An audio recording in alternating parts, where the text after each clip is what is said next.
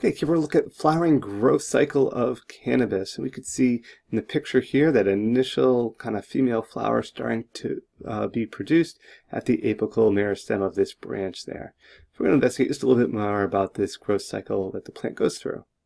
So flowering first is induced by an even 12 hours of light and 12 hours of dark. The key, remember, is those 12 hours of continuous darkness. After uh, the change, plants will show visible response in under two weeks. So once you kind of go from those 16, 18 plus hours of light to 12 hours of light and dark, after this change, that's you're going to start to see at, within about two weeks time, those flowers develop. This mimics the fall season where nights begin to get longer, which is typically when plants want to begin to prepare flowers to carry on for the next generation.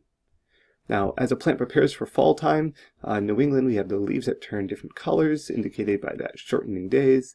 Uh, for cannabis, the vegetative part or phase of the plant will begin to slow. It will still grow. Uh, the stems may still stretch and leaves may still grow, um, but they may produce less blades, and typically uh, vegetative growth will be slowed for sure. This is when plants are needing less uh, nitrogen in their fertilizer program, which is where bloom fertilizers come in. Bloom fertilizers are typically higher in phosphorus, which can be, uh, become integrated to encourage flower production into your um, nutrient reservoir.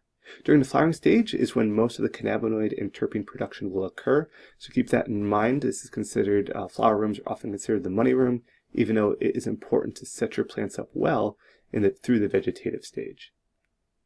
Remember your chosen cultivar, so Cannabis ruderalis will flower automatically in about three or four-ish weeks of growth, regardless of the photo period. There's some late blooming sativa varieties that may need special care. So again, just knowing your cultivar that you've chosen to grow and all the pros and cons associated with that ahead of time will be best for your operation.